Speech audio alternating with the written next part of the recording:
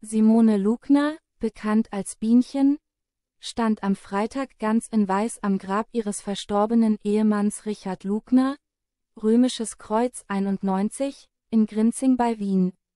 Der Anlass war Richards 92. Geburtstag, den sie alleine bei strömendem Regen auf dem Friedhof verbrachte. In einem weißen Hochzeitskleid, das Richard zu Lebzeiten nie gesehen hatte, kniete sie am Grab und blickte dabei gen Himmel, wie Fotos zeigen, die Bild vorliegen.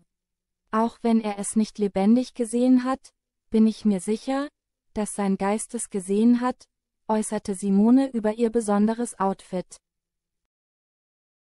Simone und Richard heirateten am 1. Juni dieses Jahres standesamtlich. Zu diesem Anlass trug die Witwe des Baulöwen ein weißes Kleid mit Spitzenbolero.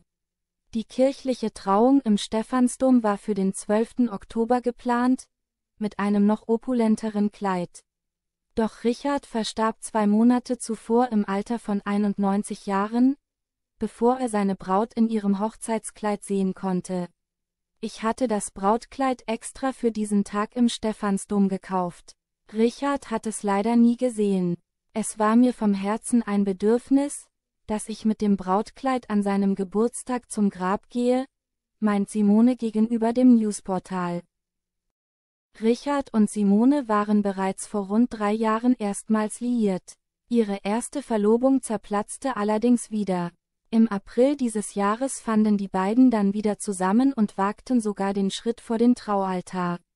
Nach Richards Tod im August widmete ihm Simone rührende Worte auf Instagram, Du warst der Traum meines Lebens. Und wenn ich dich strahlen sah, bei meinem Anblick, dann wusste ich, dass ich auch deiner war. In Liebe. Richard hinterließ neben seiner Ehefrau auch vier Kinder.